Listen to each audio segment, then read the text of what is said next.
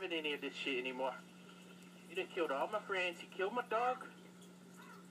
You killed everything I've ever loved.